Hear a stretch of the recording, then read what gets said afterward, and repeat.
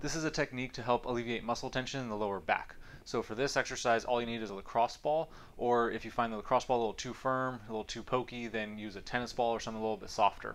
But what you're gonna do is lay on the ground, and this is gonna work the muscles next to the spine and above the pelvis and below the ribs. So to find those areas, just reach back, rotate the legs to the side, and feel for the top part of your pelvis here.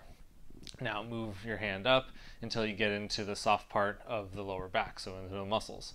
Now you don't want to push right on the spine either, so you want to just make sure you're in the muscles when you do this exercise. So with the lacrosse ball or massage ball, rotate the legs to the side, place it into the muscles next to the spine above the pelvis, and then center your body over the ball.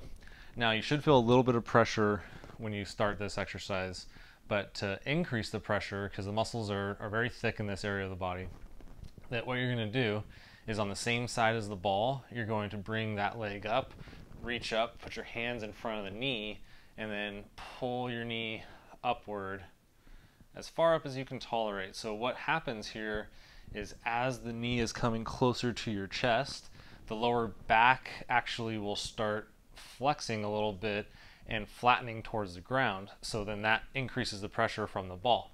Now, you want to go up again as, as far up as you can tolerate.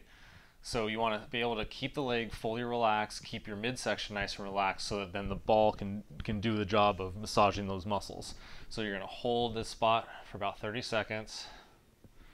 Just take deep breaths while you're holding it.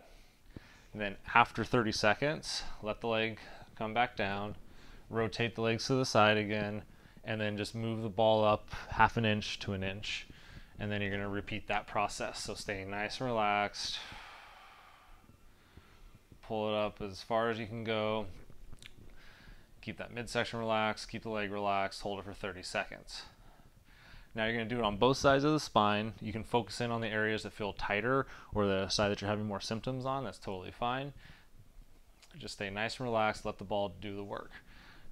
Now again, you just want to stay away from the bony parts of your back. And once you get up to where you start getting into the rib cage, that's high enough. So usually it's about three to five positions in the lower back on each side. So spend a few minutes a day doing this to help alleviate the tension there.